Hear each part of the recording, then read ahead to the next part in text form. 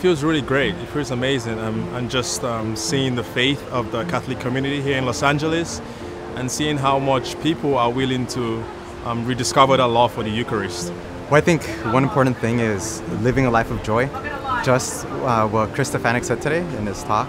And it's living that joy. And, and I think that's one first step in getting people to be thinking, what, what's different about this person? What was that change? And then hopefully that can start a conversation. Y después de haber estado en pandemia, después de haber estado en un tiempo de aislamiento, pues nos deja saber que la fe no, no ha muerto, que la fe está realmente viva aquí en Los Ángeles, en nuestro corazón, que hay una sed profunda de Dios, una sed profunda de amarnos. Y sobre todo este día le ponemos rostro a ese amor que tenemos por Jesús, viniendo a la catedral, orando juntos, eh, estando frente al Santísimo y participando de la misa. no better way to start my seminary life with the, the Eucharist. Um, how the Catechism says is the source and summit of our life, and I just feel that very present right, right now in my life.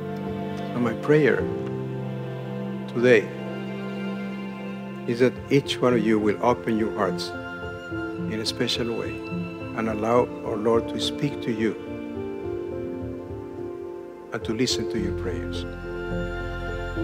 Ask Him to give you the grace to grow in your love for Him in the Holy Eucharist. Ask Him to deepen your friendship with Him. My dear brothers and sisters, Jesus wants to dwell in our souls.